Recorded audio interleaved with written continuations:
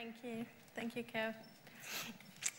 So yes, I am an MD in Accenture, but it's been a long journey uh, to get there. Uh, I'm actually leading emerging technology in UKI and, uh, and also uh, virtual agent uh, and artificial intelligence. And I really related uh, to some of the messages on the pre previous presentation because you know, even if you, you know, don't build your own business, actually being out there and innovating, although it's going much faster, is kind of a bit of a roller coaster as well.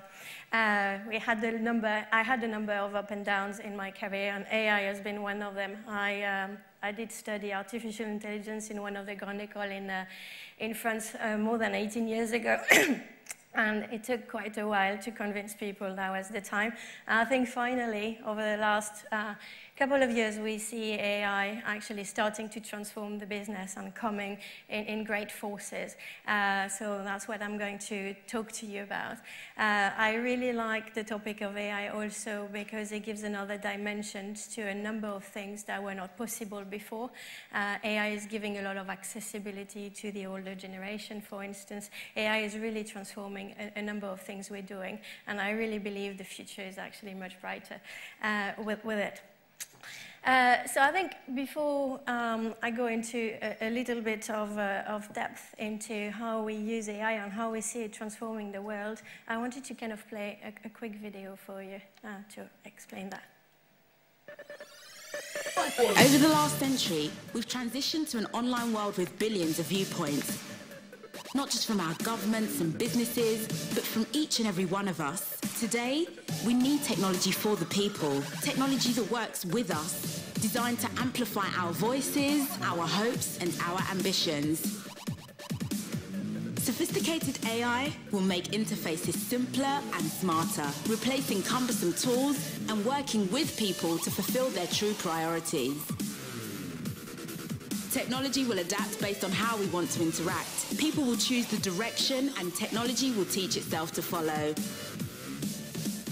People won't be restricted by process, but instead will be free to build stronger relationships augmented by technology.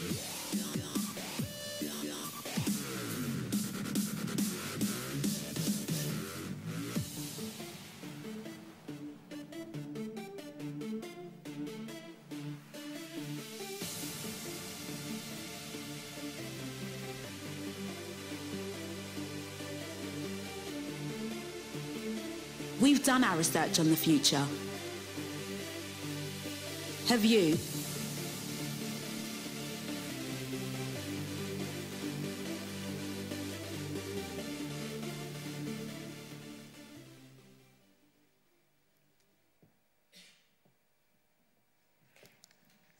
The great thing with AI is that finally the, um, the focus is actually becoming on us, individual, consumer, you know, employees, and, and you know, moving, you know, the focus from um, businesses wanted to expose the services outside to the world to actually, you know, focus on the con consumer and, and what we want to get out of it. So one of the things that everybody is agreeing on is actually the trend are quite massive, and this is coming like a huge waves on us, yeah. Um, one, one of the quotes that I like a lot from Gartner is by 2020, you'll be more likely to speak to the chatbot than to your own spouse. Yeah? Uh, uh, but, but, you know, in terms of number, there's quite big number in there. So I think today we, we're going to focus the conversation on how it does change the customer interactions, how you actually, uh, and we created a model to actually talk, talk it through, uh, where we have like four particular area. So one is that conversational interface, and um, I'm going to do a quick demo of that, I see.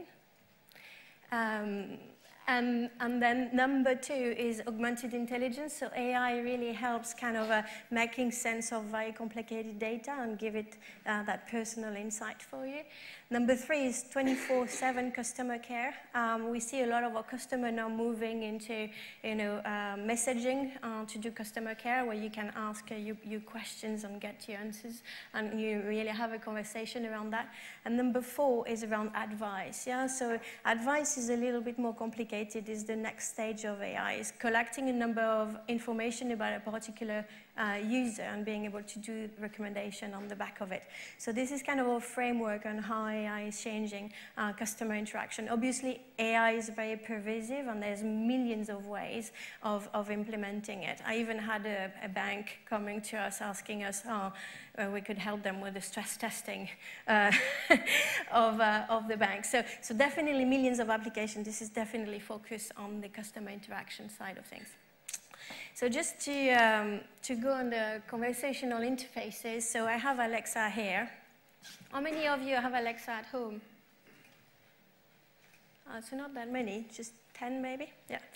So Alexa, rap for me. Connect SyncLink all the pieces of your Li-Fi. Get it done at the speed of Wi-Fi. I'm the player, the coach, the arena, and the game. If you want something done, you just got to say my name. Alexa, open my bank.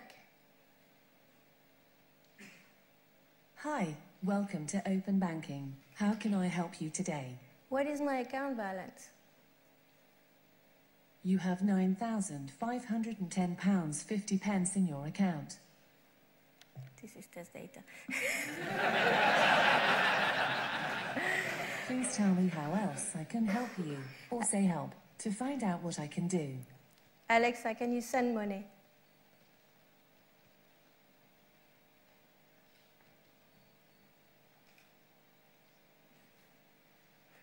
The network is a little How bit... much would you like to transfer? 20 pounds.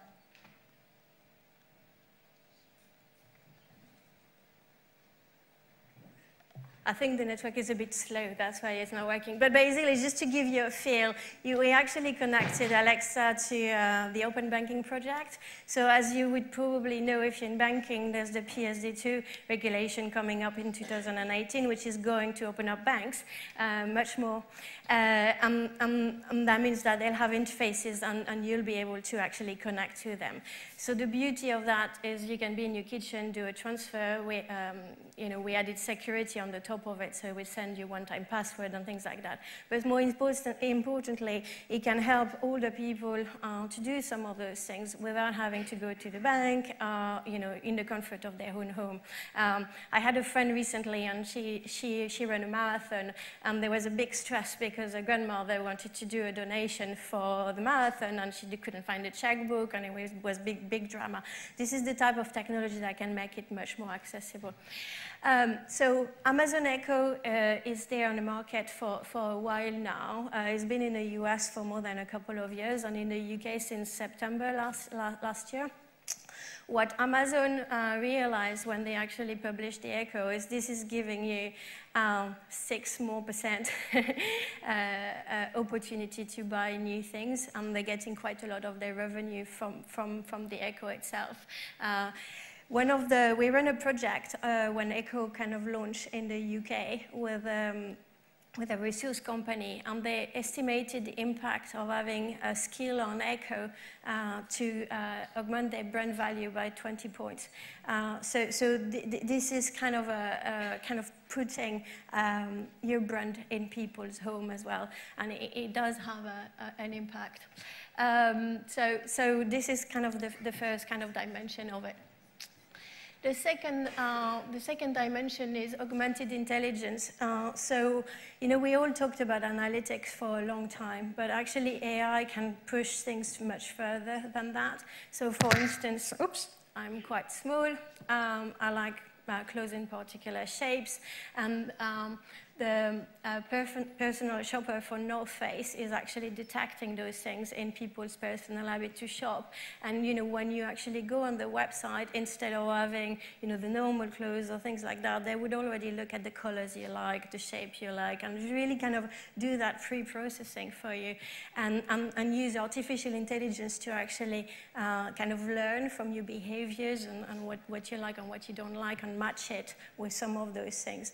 Actually, there's been very very powerful. Uh, instead of a you know, marketing campaign typically would give you one or two percent or you know, a few percent of, of click-through, where actually they put AI to, uh, to power this up, they got 60% click-through. So you really get on getting under the skin of the personalization. Not um, also because, you know, typically we white collar, and we've done that for years and years. We pretended we knew the customer, and we designed things in the way we thought was right, yeah? But people don't necessarily kind of um, have the same point of view, and things work or things don't work, and there's much more segment that we want.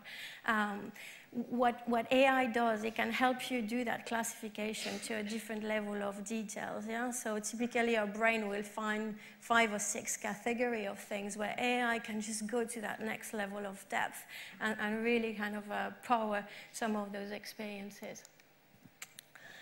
So the, the, um, the next book is about uh, customer experience or customer care. So we have a lot of that coming through uh, now. A lot of our clients are actually doing a lot in that space, um, kind of having a, a, either a chatbot to have a chat on a particular problem and try to resolve it. Sometimes just doing uh, frequently asked questions, resolving a problem or, or, providing a piece of advice. So we have a lot of that coming through and a number of um, customers are, are, are getting their teeth into that. It's almost like the next generation after labor arbitrage is a bit of a chatbot in, in, there. One of the things is working very well too is asynchronous messages. So, you know, a lot of us have very busy day and we can't really, you know, sending, you know, even having a five minute chat with somebody and having to wait for the answer is a pain. So um, sending messages, you know, saying, oh, I have that problem and being able to have a text back kind of telling you, you know, this is the answer is actually kind of a, a quite a good way of doing things.